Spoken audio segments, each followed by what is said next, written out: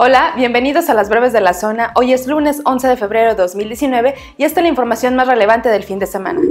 Educadoras de estancias infantiles de León se han organizado ante la incertidumbre sobre la falta de subsidio proveniente del gobierno federal. La organización de uno de los grupos de estancias ya comenzó a planear un informe para presentarlo a las autoridades locales frente a presidencia municipal, y no como manifestación, sino como un evento público para que la ciudadanía en general conozca su trabajo. En el estado existen alrededor de 450 guarderías, según informes de la entonces Secretaría de Desarrollo Social, en las que se atienden a poco más de 15.000 niños, mismas que hoy están dudando de su permanencia ante el recorte de recurso federal.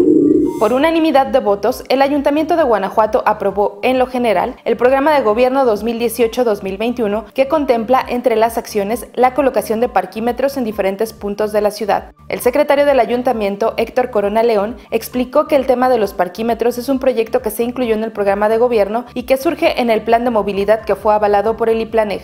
Corona sostuvo que de concretarse el proyecto se buscaría la inversión privada, es decir, la concesión porque los ingresos propios del municipio no alcanzan para garantizar la seguridad, limpieza y movilidad de la ciudad.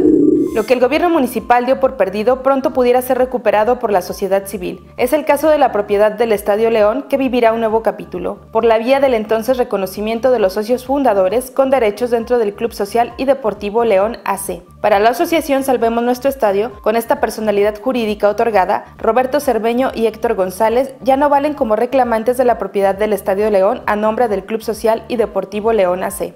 Ahora quedan a la espera de que los 57 herederos de los socios fundadores del Club Social y Deportivo León presenten sus respectivos litigios para recibir la misma resolución y automáticamente quedar con derechos para quedar como representantes, un proceso que estiman esté resuelto en tres meses. Y de último momento le informo que el director de seguridad penitenciaria del Cerezo Mil de Valle de Santiago fue asesinado a balazos afuera de su domicilio en Guanajuato capital. Del ataque también resultó lesionado su hijo. Los hechos se registraron cerca de las 7 de la mañana de este lunes en la colonia Barrio Nuevo en la capital del estado. No te olvides de seguir al pendiente de la información a través de nuestras redes sociales o nuestra página zonafranca.mx y por la noche mantente informado con Bania Jaramillo.